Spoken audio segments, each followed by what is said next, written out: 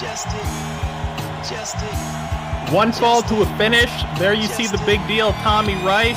No stranger to any fans of this organization. That amazing theme music he comes out to. One of the more powerful individuals in this sport, Arachnid Soul, as always in the booth with the best damn pro wrestling commentator going. Here to call the action. And we're going to see him take on a man tonight that you probably haven't seen before. We're going to bring him out right now.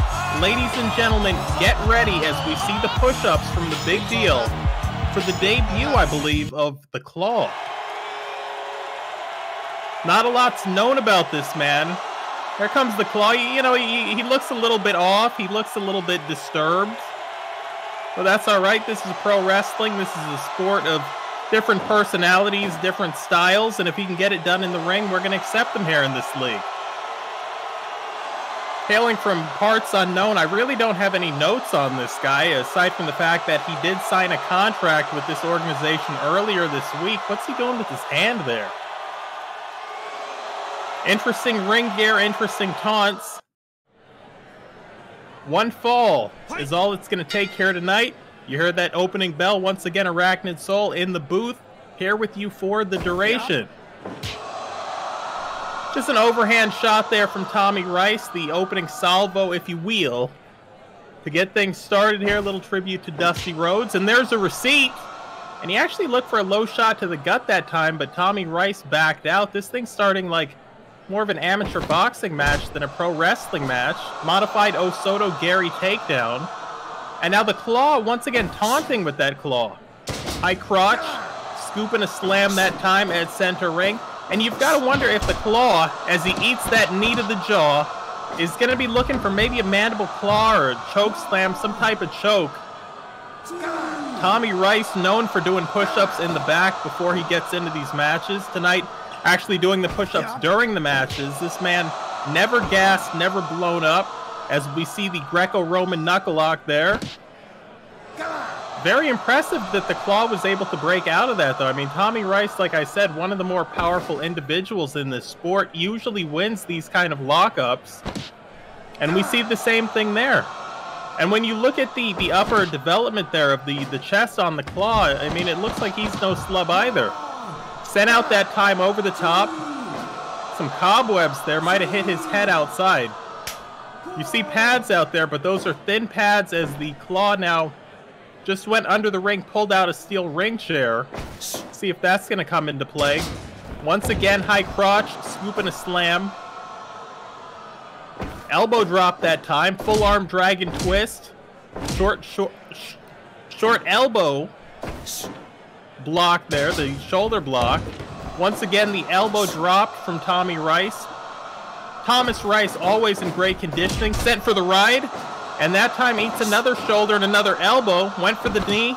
No water in the pool once again, and there's the stomp. And this thing's really just been a brawl. And speak of the devil, we have a hockey fight now, and it's Tommy Rice who comes out on top. Well, you can call that one at home for yourself. Somersaults through. Fireman's carry. There's that loose Spicolli driver. Beautifully executed. Great show of strength there. Shot off to the corner. The claw back in control with the boot. Reverses the whip to the far side. The claw comes in.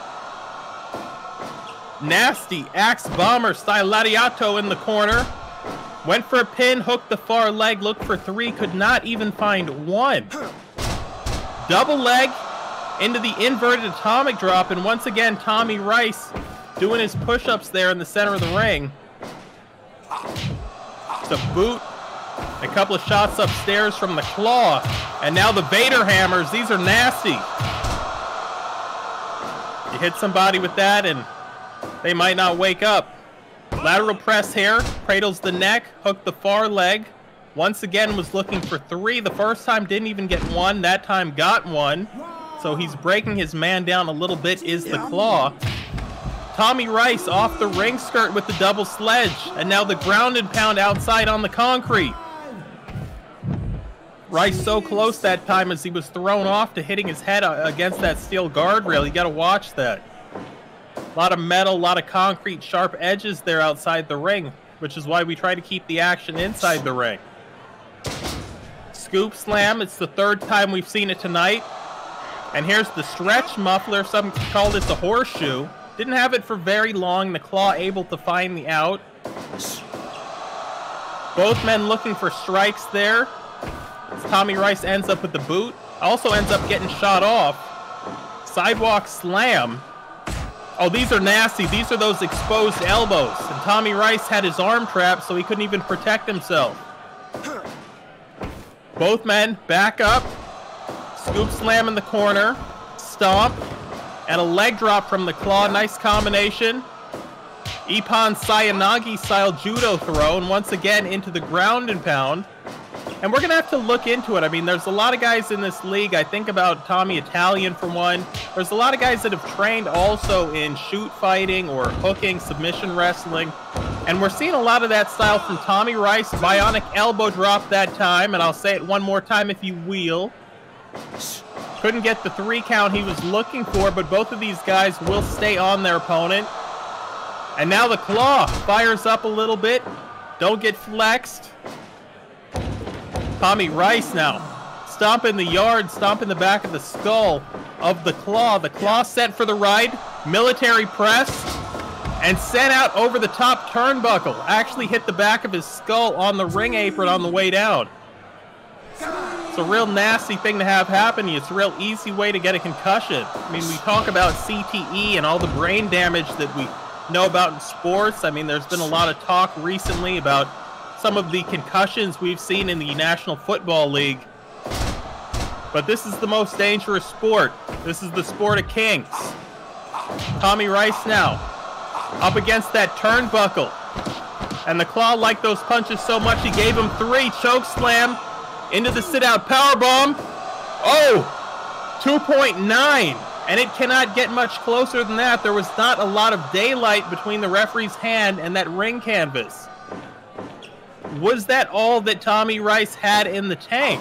And how tough is the claw to actually make it back to his feet before the man who executed the move?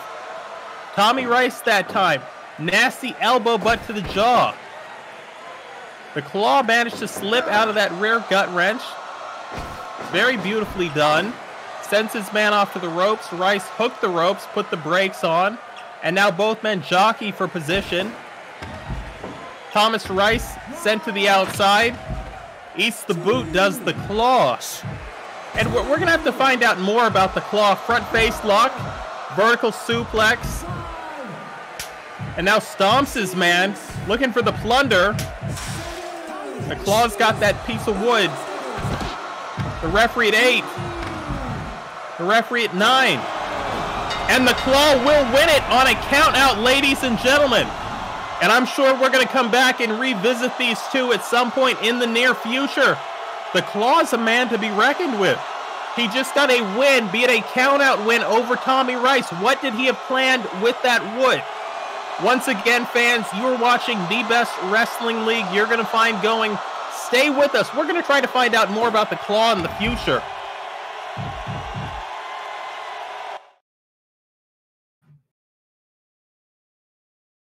Six minutes, 49 seconds. It's a ring out win for the Claw over Thomas Rice.